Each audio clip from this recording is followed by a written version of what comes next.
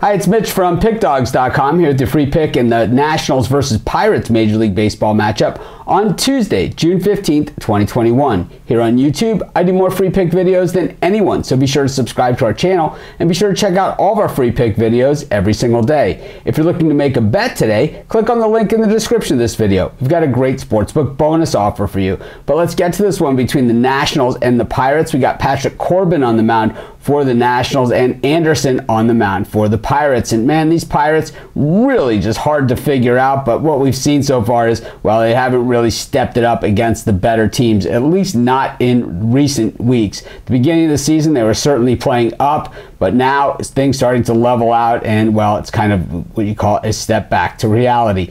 For the Nationals, well, this team certainly just doesn't have what it had a few years ago when they went to the World Series, and now with Max Scherzer and Stephen Strasburg both ailing, this pitching staff just really starting to fall to pieces. And Patrick Corbin, really not the guy who comes in to save the day. Yeah, he's pitched a little better in spots this season than we're used to seeing Corbin pitching, but tell you what, certainly not a guy I'm going to lean on. I'm going to take the value play here and the Pirates, and that's going to be my free pick. If you're wondering who the top handicappers in the world believe are the best bets on the board for today, head on over to pickdawgz.com, click on the premium picks tab, and if you're looking to make a bet today, click on the link in the description of this video. We've got a great sportsbook bonus offer for you.